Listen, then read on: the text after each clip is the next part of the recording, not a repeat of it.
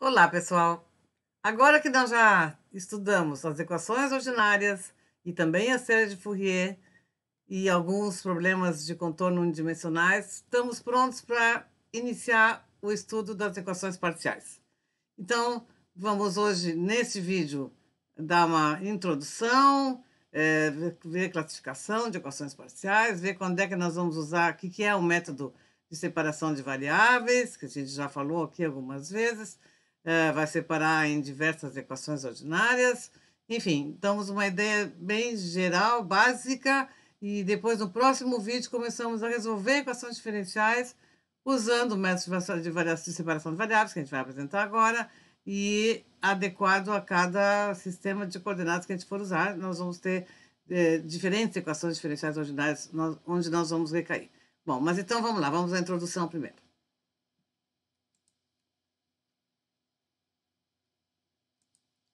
Então, introdução às equações diferenciais parciais, um método de separação de variáveis. Já, bem no começo do nosso curso, nós vimos né, que uma equação parcial é uma equação que vai ter duas ou mais variáveis independentes. Então, por isso, né, as derivadas que aparecerem lá vão ser derivadas parciais. Muito bem. Agora aqui eu vou só colocar, apresentar para vocês as equações com as quais a gente vai trabalhar mais especificamente, que são as equações que ocorrem mais frequentemente em problemas da física clássica. E uh, as variáveis independentes que a gente vai ter, vai ter, em geral, vou poder separar em variável tempo e também a posição do ponto onde eu estou olhando. E isso, então, significa as coordenadas espaciais. E essas coordenadas, como eu falei há pouco, vai depender daí da simetria, enfim, do que for mais conveniente para cada problema. A gente vai trabalhar com coordenadas cartesianas, a gente vai trabalhar coordenadas cilíndricas e a gente também vai trabalhar com coordenadas esféricas. Então, mas tudo isso eu posso, tudo isso eu posso colocar de um modo único, dizendo que eu vou uh, representar tudo, qualquer um deles, por esse vetorzinho aqui, vetor R, vetor posição do ponto. Então, o que a gente vai estudar são, vai ter uma equação diferencial, parcial, com variáveis independentes, em geral espaço e tempo, e uh, essas variáveis do espaço poderão ser, dependendo também se é no R3 ou no R2, a gente daí aqui vai ver como é que isso vai variar de acordo com o problema específico. E a gente tem uma variável dependente que vai depender da posição do ponto e também do instante de tempo. Ou seja, no mesmo ponto, uh, dependendo do tempo, enquanto o tempo vai passando, a gente poderá ter um diferente valor para aquela variável dependente, que depende, então, do espaço, da posição do ponto e também do tempo. Bom, vai ficar, tudo isso vai ficar mais claro agora quando a gente for aplicar realmente. Bom, então, a, uma, a primeira equação que eu vou apresentar para vocês é a equação da difusão ou da condução do calor, que a gente usa em processos de difusão. Nós não estamos preocupados aqui com a dedução das nossas equações diferenciais, mas a gente vai usá-las e, claro, tem que saber em quais, com quais restrições né, elas são usáveis e aplicar e como é que nós vamos aplicar esse nosso método de separação de variáveis. Então, o exemplo aqui, uh, aqui eu estou colocando uma equação mais completa. Na verdade, a gente não vai chegar a usar tudo isso daqui, como eu já vou explicar. Bom, uh, equação da difusão ou da condução do calor, a variável dependente vai ser esse U que eu coloco aqui, que é função, como eu disse antes, da posição, ou seja, de que ponto eu estou olhando no, no, meu objeto de estudo e também em qual instante de tempo eu estou uh, me colocando. Uh, nós aqui, então, U vai ser uma temperatura em um ponto, como eu disse, caracterizado pelo vetor R, em um instante de tempo de T. Agora, esse aqui que eu boto entre colchete aqui com de rosinha é a unidade da variável dependente. A temperatura eu estou colocando, por exemplo, né, em graus Celsius. Bom, então, agora a equação diferencial, como eu disse, a gente não vai deduzir, mas eu vou colocar aqui o que, que significa cada termo. A equação diferencial, vocês veem, derivada parcial em relação ao tempo está aqui, e aqui eu coloquei também as unidades, que é bom a gente sempre lembrar de que unidades vão estar tá eh, cada termo vai ser relacionado com qual tipo de unidade, né? Então, por exemplo, tá? a derivada parcial de U em relação a T vai ser a unidade do U, que eu estou supondo aqui graus Celsius, por exemplo, e aqui eu coloquei segundos, né, como uma unidade de tempo. Então, isso aqui seria a unidade desse termo, e é claro que daí todos os termos da equação diferencial vão ter que ter é, essas mesmas unidades, né? Bom, é, aqui tem um termo que é alfa ao quadrado vezes o Laplaciano de U, já vamos falar daqui a pouco, é, para quem já estudou álgebra vetorial, o Laplaciano de uma função escalar U vem a ser o divergente do vetor gradiente de U. U é uma função escalar, existe um vetor gradiente, e a esse vetor gradiente, se eu calcular o divergente dele, eu tenho o Laplaciano, que é um escalar também, tá? Bom, mas uh, isso a gente não vai chegar a usar. Nós, Para nós interessa como se expressa esse Laplaciano dependendo do sistema de coordenadas. O Laplaciano é um operador, então, que é aplicado à função escalar U, é, vai estar relacionado com derivadas, sempre derivadas parciais com relação a variáveis espaço. Aqui não está o tempo, tá?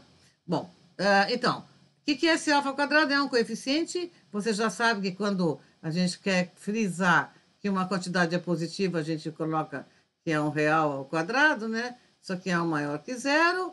Então, aqui, esse coeficiente denominado coeficiente de difusividade térmica do meio do material onde eu estou olhando como varia a minha temperatura. Tá? Então, Depende da condutividade térmica, depende da densidade volumétrica e do calor específico do meio. Isso é só para vocês saberem, a gente não vai chegar a entrar nesses detalhes. Nós vamos logo ter um valor para nosso alfa 2, ou até vamos resolver com e deixar alfa indicado assim, né? Sem atribuir nenhum valor específico. Mas, então, vejam, só para vocês terem uma ideia é, da ordem de grandeza, o alfa 2, por exemplo, para o cobre é 1,14 centímetros quadrados por segundo, alfa 2 do alumínio é 0,86 centímetros quadrados por segundo. Tem tabelas, né, com o tipo de material e esse alfa 2 que é o coeficiente de difusividade térmica do meio. Como é que a, a nossa a temperatura vai é, fazer, como é que o meio, como é que o meio influi na difusão, né, da nossa, do nosso calor, tá? Bom, é, Laplaciano, como já falei, é, já comentei há pouquinho, as unidades do Laplaciano é, sempre vai ser. É, isso aqui é um operador que vai ter sempre como. vai ser aplicado a, uma, a nossa variável dependente, que está aqui o grau centímetros, e por centímetro quadrado. É, é como se. Bom, a gente vai ver depois melhor isso nos, nos exemplos específicos, tá? Quando a gente multiplicar grau centímetros, ou grau Celsius, né, por centímetro quadrado, de multiplicado pela unidade aqui do coeficiente de difusividade térmica, esse grau Celsius vai ficar aqui, né? Que vai dar o grau Celsius aqui do TUDT. E aqui o centímetro quadrado vai cortar o centímetro quadrado e vai ficar esse segundo. Ou seja, a unidade desse produto aqui é, claro, evidentemente, a mesma unidade do DUDT. Bom, e tem mais um termo aqui, que é denominado um termo de fonte. Vocês já vão ver por que a gente não vai chegar a utilizar nos nossos problemas aqui no nosso curso. Ele vai ser é, considerado nulo nos problemas que a gente vai estudar. Vocês já vão entender por quê, tá? Bom, então, mas para vocês saberem, uma equação mais completa é, teria que considerar termos de fonte, se houver, né? Se houver calor gerado ou perdido em algum, em algum lugar no sólido, é, então vai ter que ter essa função f por conta disso. Então, é a taxa com a qual o calor é gerado ou absorvido em um determinado ponto e um determinado tempo. Então, é, gerado é uma fonte, absorvido é um sumidouro, né? E a gente considera tudo como fonte positiva, fonte negativa, né? E aqui a, a gente tem calorias por centímetro cúbico vezes segundo, é a unidade dessa, dessa taxa aqui, e vai ser multiplicado aqui por, pelo inverso do calor específico, é, que também aqui estão as unidades de calor específico, e aqui ainda tem a densidade volumétrica de massa que é grama por centímetro cúbico. Bom, você já deve ter estudado talvez alguma coisa assim de estudos de termodinâmica, então essa palavra calor específico não é novidade para vocês, densidade volumétrica obviamente também não é. O produto dos dois dá o que a gente chama de capacidade calorífica por unidade de volume do material, e aqui eu sempre colocado as unidades para isso ficar claro, vocês podem depois reler com, eh, ou reassistir, né? com mais calma e olhar o que, que significa cada um desses termos. Bom, então é o termo de fonte, esse daí. E nós, na verdade, já vou explicar por que nós vamos trabalhar com a equação sem termo de fonte, como assim, um problema que não tem a fonte, então, num lugar, num espaço onde não tem fonte, então nós vamos trabalhar só com esses dois termos, um de cada lado, o dt aqui e o alfa 2 laplaciano de u. Então tá aqui, ó, a equação 1 que eu coloquei aqui, dentro de um domínio sem fontes ou sumidouros, isto é, se não houver calor gerado nem absorvido dentro do sólido, mas apenas transferido por condução, a equação se reduz a esta aqui, e esse, essa equação número 1 é uma das equações que a gente vai estudar com detalhes em outro vídeo a seguir. E aí nós vamos estudar como se aplica, né, a problemas específicos, é isso que a gente vai fazer. A outra equação que a gente vai estudar também, e a gente vai aplicar, vai ser a equação da onda, para problemas oscilatórios, vibrações. De novo, eu tenho U de RT, R posição, T é tempo, só que esse U na equação da onda vai ser o deslocamento em relação à posição de equilíbrio. Nós já usamos isso, essa expressão deslocamento em relação à posição de equilíbrio, nas nossas equações ordinárias, onde também estudamos vibrações, né?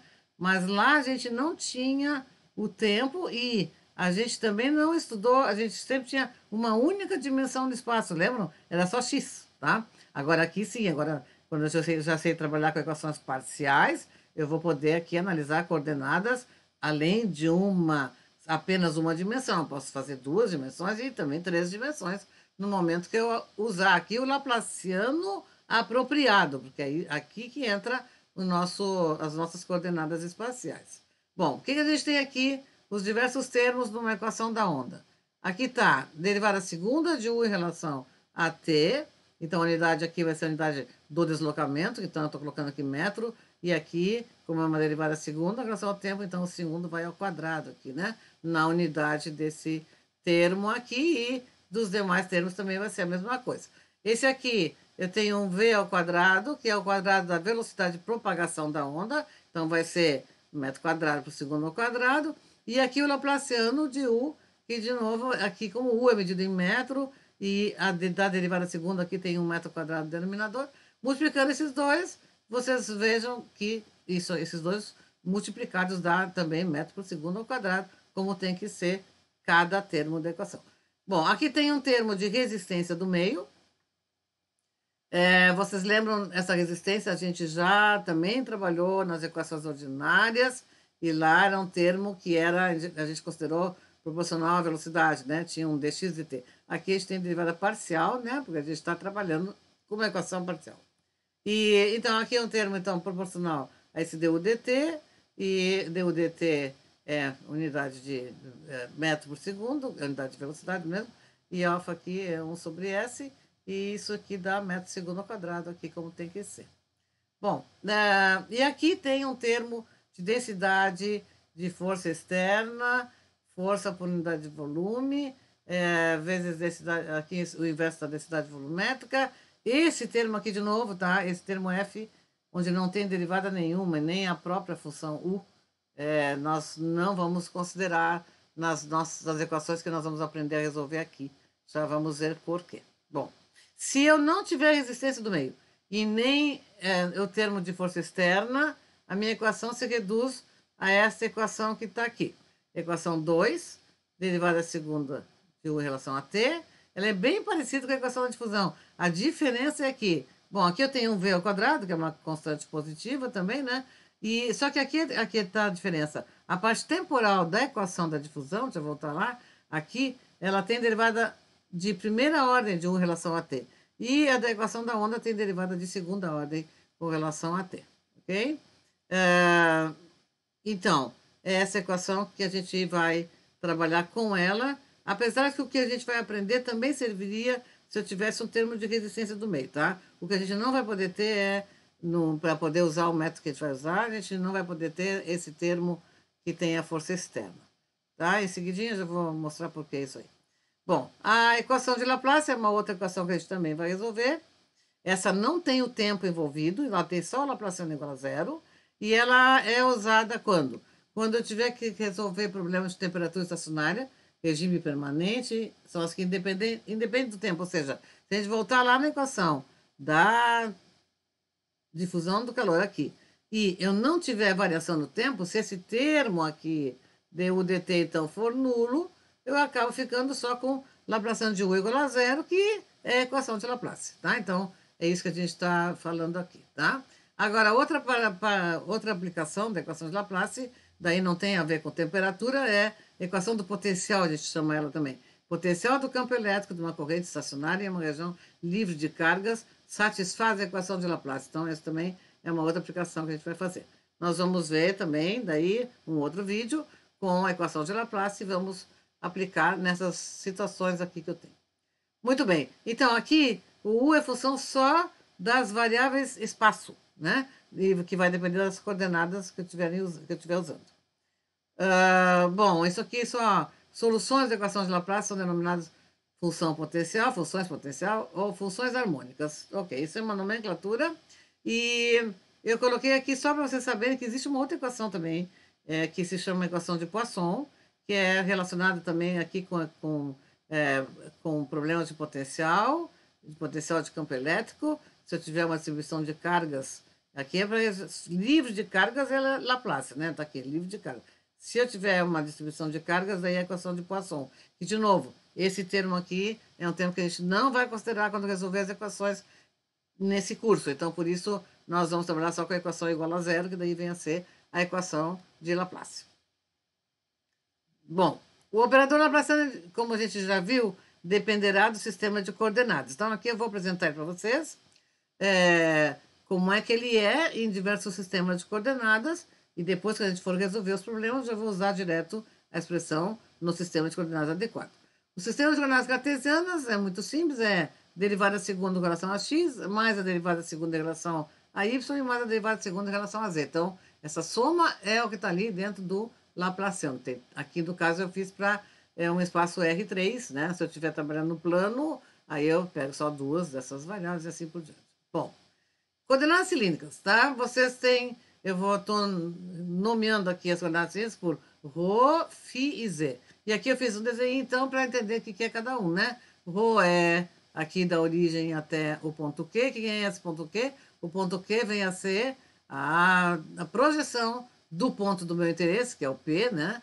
Então, aqui eu faço uma projeção no plano XY, daí determino um ponto Q, e essa distância aqui até a origem é o ρ. É, existem alguns, às vezes a gente chama é, de R, mas enfim, estou aqui colocando ρ para deixar o R lá nas equações, nas soluções, lá depois nas coordenadas esféricas, lá está o R.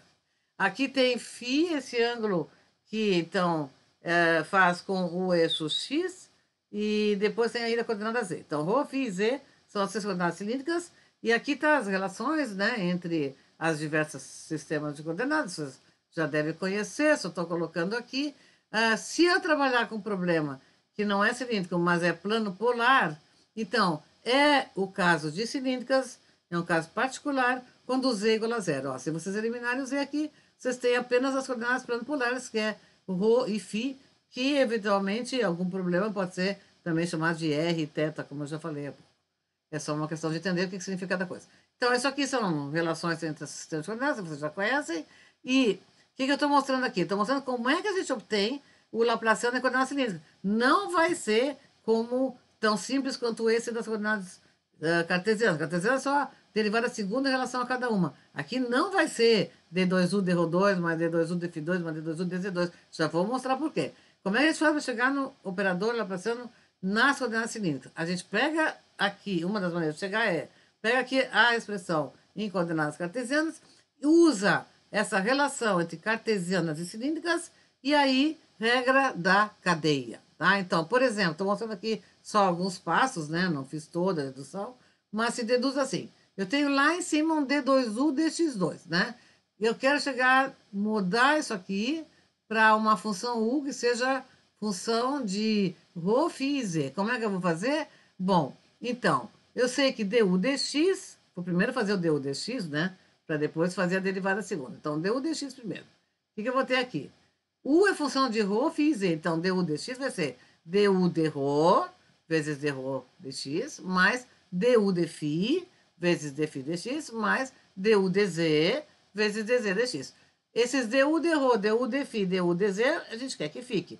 E aqui, essas outras derivadas que eu rotulei aqui com cor de rosa, é, vou, vou calcular e deixar expresso em coordenadas cilíndricas, que é o que a gente quer. O dρ dx, por exemplo, ó, de onde é que eu vou tirar, né? dρ dx. Então, dρ dx vai ser cosseno de φ, vocês têm que pegar a expressão aqui de ρ em relação a, com, com, relacionado com x2 e, e com x e y aqui, e fazem essa derivada parcial em relação a x, e depois passa, não deixa o x indicado, né? Onde tem x, tem que lembrar que x é o cosseno de φ. Vai ficar, vai sobrar só cosseno de φ, tá? É tranquilo fazer essa conta, tá? Bom, e aí depois aqui também, mesma coisa, dφ dx, aqui eu tenho φ que tem arco tangente, tem que derivar esse arco tangente, e depois o que tiver de expressão que der na derivada é substituir tudo de tal maneira que só sobrem é, sempre variáveis que são as coordenadas cilíndricas. Então, φ e ρ é o que sobrou aqui para substituir o dρ de, de φ dx, tá? Bom, aí o dz dx é zero, porque z é só igual a z em ambas, tanto nas cilíndricas quanto nas, uh, nas coordenadas cartesianas, é o mesmo z.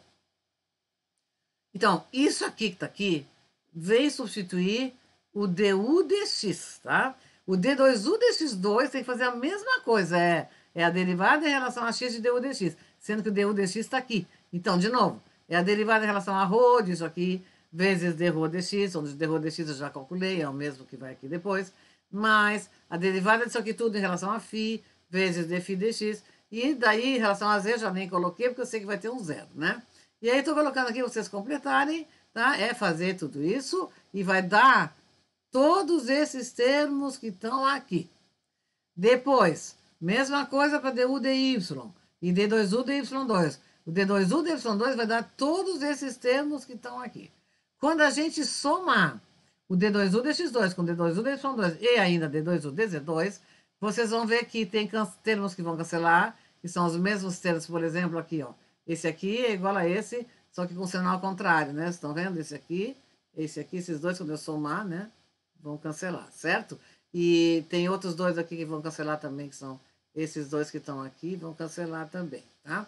E vai sobrar um seno ao quadrado com mais cosseno ao quadrado, que a gente sabe que é igual a 1, enfim.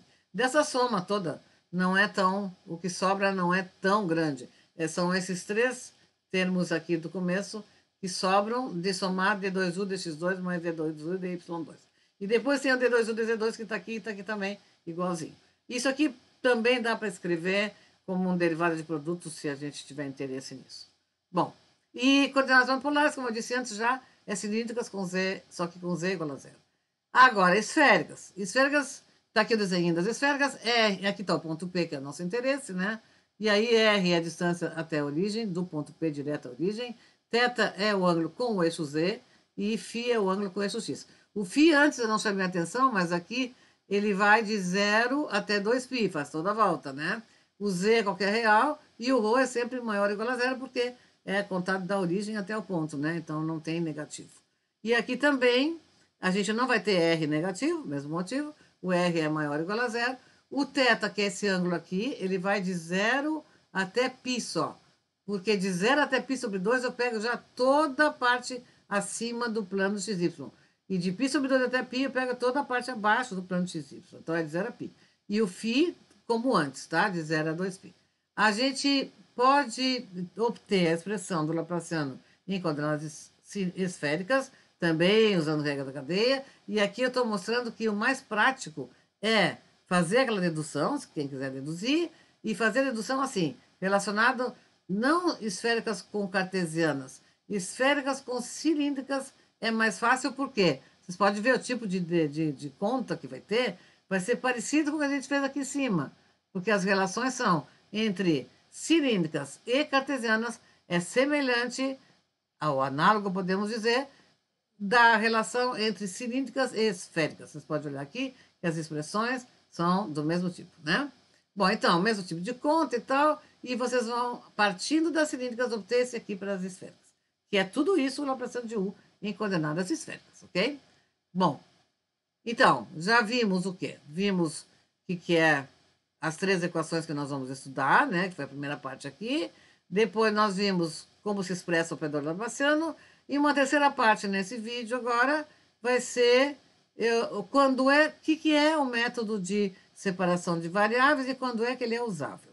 Então, é, eu vou resolver, as equações que nós vamos resolver vão ser equações de segunda ordem, como a gente já viu ali, lineares e homogêneas. Lineares é a mesma coisa que das equações ordinárias. Cada termo tem que ser linear na variável dependente e nas suas derivadas, ou não as contém. Quando não as contém, tem aquele termo independente. Esse termo independente que vai dizer se a equação é homogênea ou não. Homogênea, o termo independente é nulo, e, caso contrário, não homogênea, quando o termo independente não for nulo. E o que a gente disse que não ia usar justamente são os termos independentes que a gente vai considerar igual a zero. Então, vocês já viram que a gente vai estudar são as equações homogêneas, né? Porque, lembram aqui, deixa eu voltar um pouquinho aqui, a gente não vai ter esse f de r nas equações que nós vamos estudar, então eu vou ter minha equação homogênea, né? A gente não vai ter esse f de rt, que seria o termo que diria que a equação seria não homogênea, mas a gente não vai ter, a gente vai ter uma equação homogênea, tá vendo? Mesmo com o termo de resistência do meio, seria homogêneo também. E a mesma coisa a equação da difusão aqui, onde eu tinha esse outro termo aqui que eu disse que a gente não ia considerar. Por quê? Porque justamente isso, se tivesse esse termo, ela seria uma equação não homogênea. Nós vamos trabalhar com equações lineares homogêneas. São essas que admitem o método de separação de variáveis que a gente já vai apresentar. Bom, voltando para cá então. É, equações parciais lineares homogêneas, já sabemos o que, que é. As equações 1, 2 e 3, já voltei para lá, já mostrei para vocês, são todas lineares de segunda ordem homogêneas. É isso que a gente vai estudar.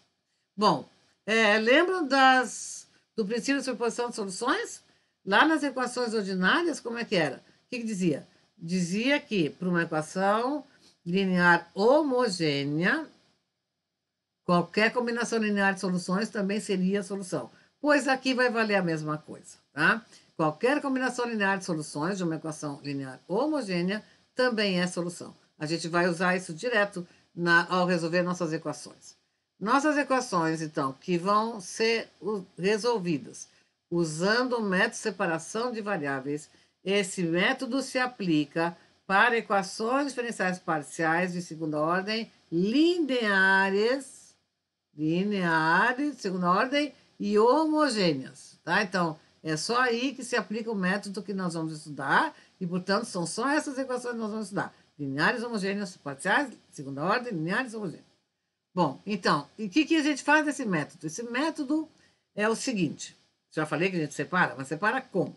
A gente separa da seguinte maneira: a gente vai escrever a solução sob a forma de um produto de funções, onde cada uma depende de apenas uma variável independente. Tá? Então, por exemplo, se eu tiver três variáveis independentes, eu vou ter três funções, cada uma dependendo de uma única variável independente. E o produto de todas elas vai dar a solução que a gente está buscando. Isso é possível fazer sempre que a equação for linear homogênea. O, agora aqui eu faço uma observação. O processo pode ser gradativo. Por exemplo, se tiver quatro variáveis independentes, digamos, tá? Eu posso separar uma função com uma variável só e deixar as outras três ainda numa função que tem ainda as outras três. E depois, gradativamente, eu faço num outro momento, separo aquelas três de novo e assim por diante. Mas no final, acaba sempre ficando um produto de funções onde cada uma depende apenas uma variável independente. Então, o número de funções que a gente vai ter vai ser sempre igual ao número de variáveis independentes. Tá? Então, aqui eu estou dizendo que o processo pode ser gradativo, ou seja, eu posso escrever o, a solução com forma de um produto de duas funções, uma delas com uma única variável e a outra função das demais variáveis. Aí a gente vai voltar depois a usar o mesmo método para separar as que sobraram, mas é assim que pode ser usado o método.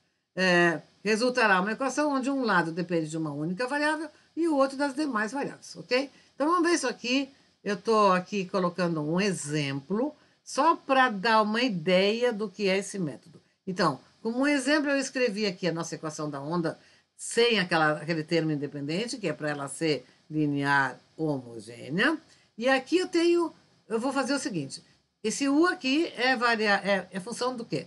Das variáveis espaço, onde aqui eu quero dizer o sistema de coordenadas que eu estiver usando. Essas variáveis espaço depende daí, né? Se eu estiver trabalhando com uma equação da onda com uma corda só, daí vai ser só x, por exemplo, né? Mas eu posso trabalhar com uma membrana que vai vibrar, aí eu vou ter no plano, vou ter coordenadas em algum sistema no plano, ou x, y, ou plano polar, depende da simetria do problema, né?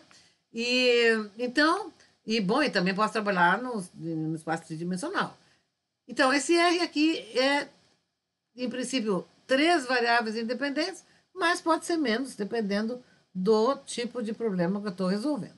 Mas então aqui estão as variáveis espaço, e aqui eu estou separando uma função só do t. Então, esta função t de t é de uma única variável independente. Eu vou substituir na equação para vocês verem como é que é esse negócio de aparecer equações ordinárias, tá?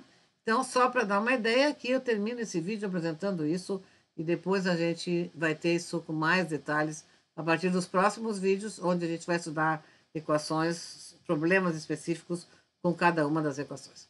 Mas então vamos lá.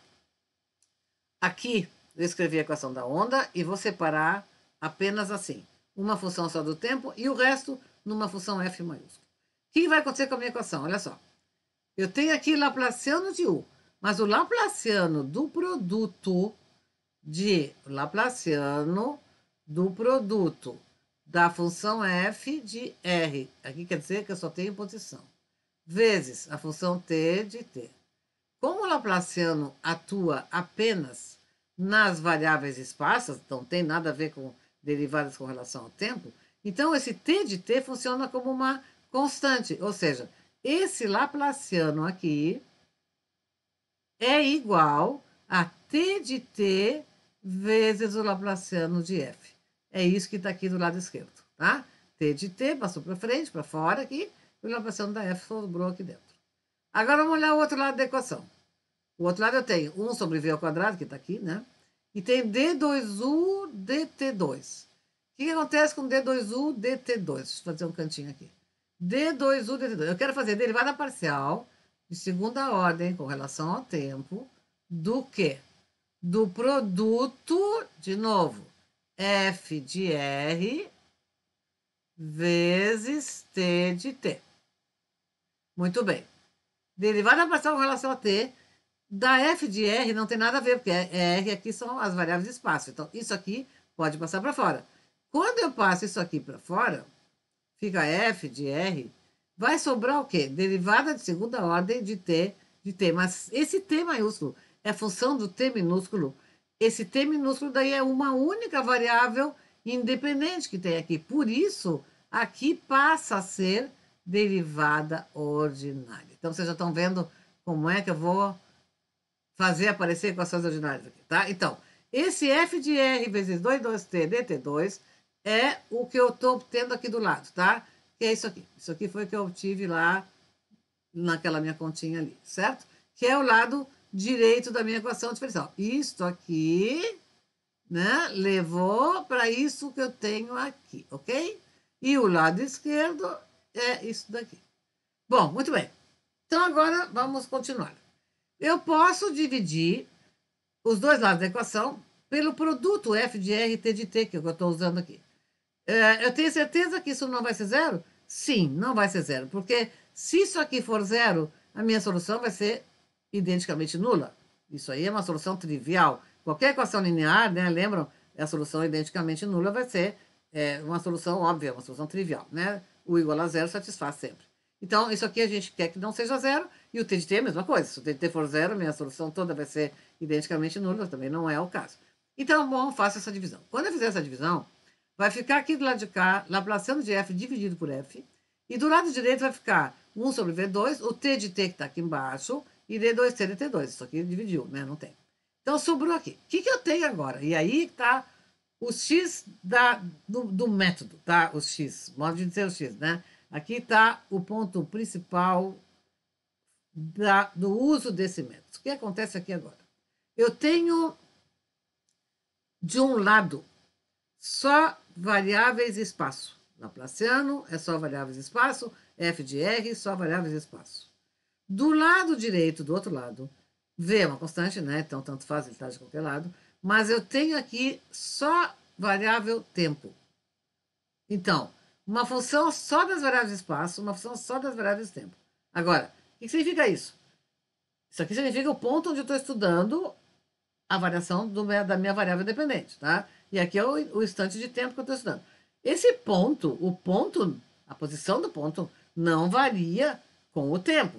O ponto não é função do tempo. A gente tem uma variável dependente U, que dependerá do ponto e do tempo. A temperatura, ou aqui a equação da onda, então, é o deslocamento, de cada ponto em cada dependerá do ponto e do tempo, mas não o ponto em si, a localização, isso não, não depende. Então, como é que eu posso ter aqui uma função só do espaço igual a uma função só do tempo? Só tem um jeito, tá? É que aqui não apareça nenhuma letrinha, ou seja, nenhuma coordenada especificamente nessa função. E aqui do lado de cá também não apareça a letrinha t, certo? Ou seja, é, essas duas funções, a função apenas de r e a função apenas de t, só pode dar certo isso se ambas forem uma constante, tá? Então, se esta fração do lado esquerdo for igual a uma constante e essa fração igual a mesma constante do lado direito, aí sim eu posso ter essa igualdade. Então, eu vou ler o que, escrevendo, que eu escrevi aqui embaixo, que é isso que eu acabei de explicar. Como os dois lados são funções de variáveis independentes distintas. Então, de novo, tá? O U, que é a variável dependente, dependerá da posição e do tempo, mas a posição não depende do tempo. Tá? Então, é isso que a gente tem. Então, como os dois lados são funções de variáveis dependentes distintas, concluímos que devem ser iguais a uma mesma constante. Eu não sei que constante é essa.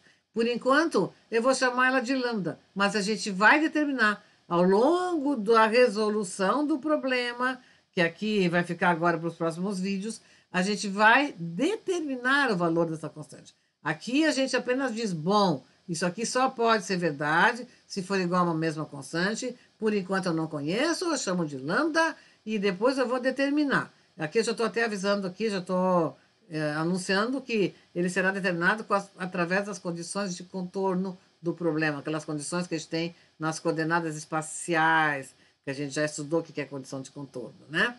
Então, são essas condições lá que vão nos dar o valor do lambda de cada problema específico. Mas, por enquanto, eu posso dizer o seguinte, que o lado esquerdo, Laplaciano de f sobre f, é igual a lambda, que o lado direito vai ser igual ao mesmo lambda. Esse lambda tem um nome, se chama constante de separação, justamente porque ela está aqui na separação entre as variáveis. Então, vejam, a minha, eu cheguei aqui num sistema que eu escrevi aqui embaixo, que é o seguinte: Laplaciano de f sobre f é igual a lambda, ou Laplaciano de f menos lambda f. Continuei aqui com uma equação parcial, porque f aqui é função do espaço, que, por sua vez, provavelmente, a menos que eu esteja trabalhando numa reta só, provavelmente poderá ter aqui mais que uma variável. Então, em princípio, uma equação parcial ainda aqui. Mas a outra equação, que veio do lado direito, 1 sobre V2t de t, igual a esse lambda, que eu ainda não conheço, mas é uma constante, que eu posso escrever, então, assim, a minha equação. Aqui temos uma equação diferencial ordinária, que vocês já sabem resolver. Aqui, no caso, é uma equação ordinária, é, linear, homogênea e a coeficientes constantes, certo? Eu não sei o lambda, mas eu sei que é uma constante. O v ao quadrado também é uma constante. Então, é daquelas que a gente usa, ah, que a gente chega na equação característica, etc, etc, etc. Então, começam a aparecer aqui as minhas equações ordinárias. A gente vai ver depois melhor isso, depois em cada problema específico. A gente vai ter aqui essa Laplaciano de f que vai ser escrita de acordo com o sistema de coordenadas adequado, e aí sim a gente vai usar aqui na parte espacial as condições de contorno para determinar o lambda. Mas isso a gente só vai poder fazer quando já tiver com os problemas específicos. Então, por enquanto, neste vídeo, o que a gente viu? viu que tipo de equação nós vamos estudar, são as equações lineares homogêneas. Vimos o princípio é, que rege esse método de separação de variáveis. Tudo está ali naquelas separações. No momento que eu separo, eu vou dizer que cada uma das funções que dependem de variáveis independentes distintas só pode ser verdade uma igualdade entre as duas se forem iguais a uma mesma constante. Essa constante é a constante de separação. A gente já vai ver como é que se determina o valor delas, de acordo com cada problema em específico mas já sabemos então como é que vão aparecer as nossas equações ordinárias e também já vimos que as três envolvem o operador laplaciano e vimos a expressão do laplaciano nos diversos sistemas de coordenadas. Então, isso é o que eu tinha para apresentar. Ah, e também vimos que vai ser usado o princípio da superposição de soluções. Não vimos exatamente aonde ainda, mas eu já avisei que vai ser usado. E aí sim, agora a partir do próximo vídeo, aí vocês vão ver como é que tudo isso aparece e também vai aparecer a de Fourier, que eu disse que ia aparecer. Vocês vão ver a partir do próximo vídeo, tá? Então, por hoje é isso. Apenas a introdução às equações parciais.